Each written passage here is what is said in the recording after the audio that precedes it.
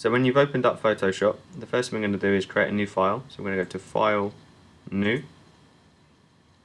and we're going to look on our print presets, so our presets that are for printing, and we're going to find the A3 template, which is this one here.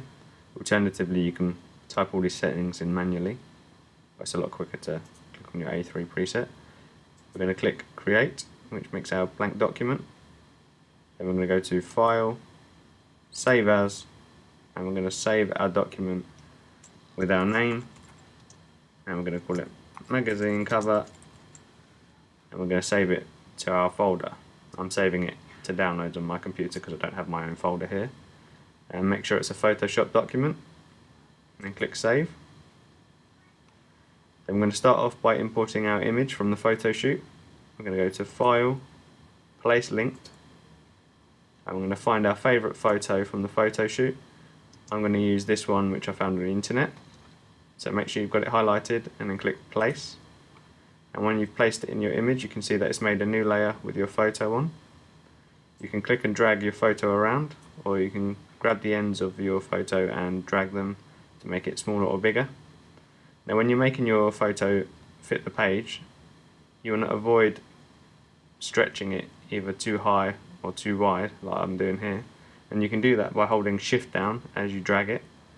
And you can see that it stops me from being able to drag it too far to the side. You can also hold down alt and that will stretch it from the middle of the picture. So you can see that it's actually stretching it from the middle as opposed to the bottom corner like it is here.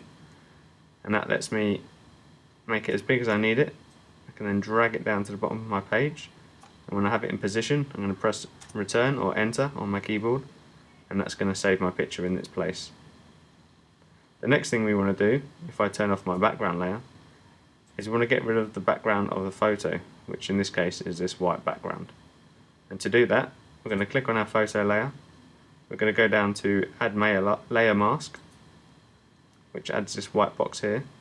And a layer mask is basically an image above your photo, which you can paint black or white.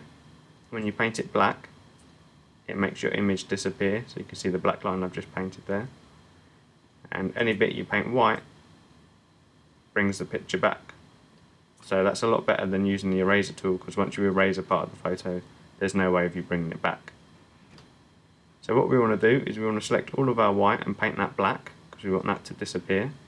Now you could of course do it manually but that'll take you quite a long time and it'll get really difficult when you go around the hair and the skin so the best way is to go to our magic wand tool, click on an area of the white background and you can see that it's already highlighted all of the white area.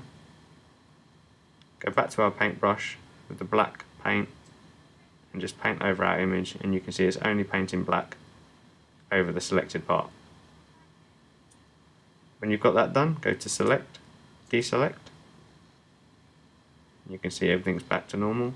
We turn on our background layer again and we can go to File, Save to save our work. And then when you get this option, just click OK.